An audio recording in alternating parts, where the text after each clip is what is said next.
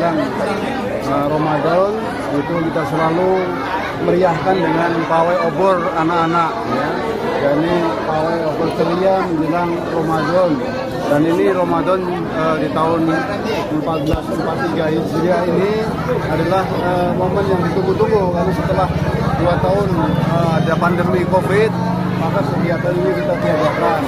Nah kali ini uh, kita adakan lagi ketika suasana sudah menjadi endemi ya, suasana menjadi reda sehingga inilah uh, bentuk dari kecintaan kita lingkungan berbayar terhadap uh, datangnya bulan Ramadan. Alhamdulillah uh, ini pemerintah sudah mengizinkan sehingga kami adakan lagi